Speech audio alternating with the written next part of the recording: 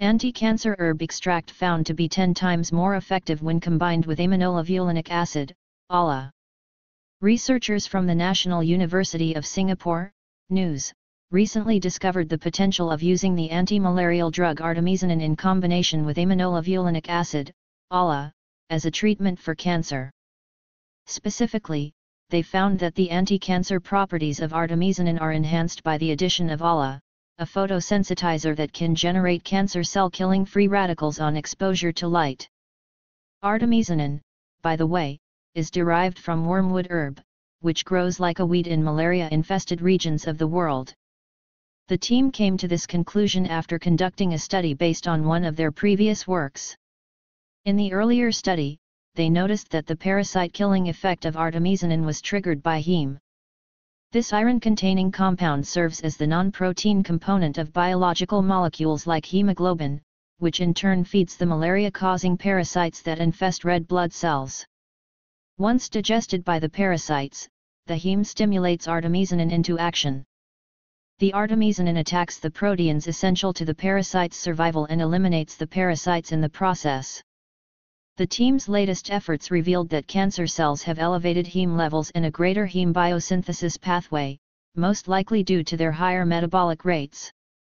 These qualities increased the potency of artemisinin, making it easier for the drug to attack over 300 cancer cell proteins. The strength of artemisinin was further intensified with ALA, which the researchers used to boost the heme levels within the cancer cells.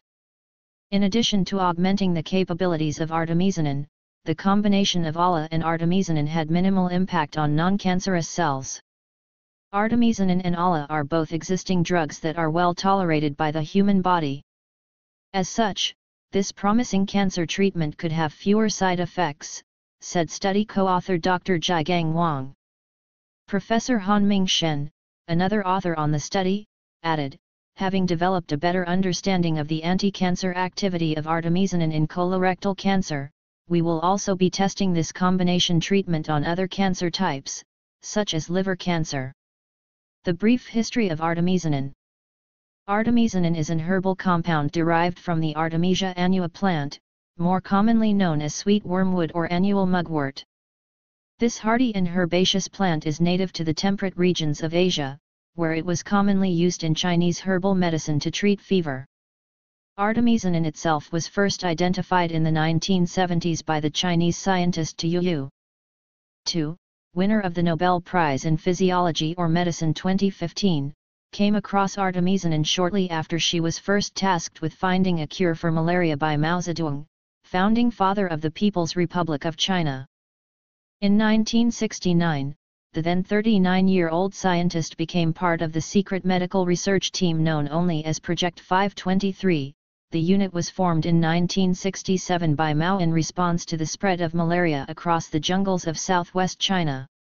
Along with the rest of the unit, Tu was sent to the malaria-stricken tropical island of Hainan.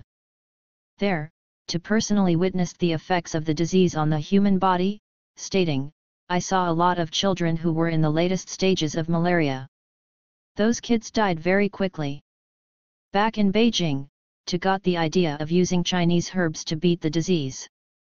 The unit poured through ancient Chinese medical texts to find remedies and folk medicine to help the scientists identify plants with purported anti-malaria characteristics.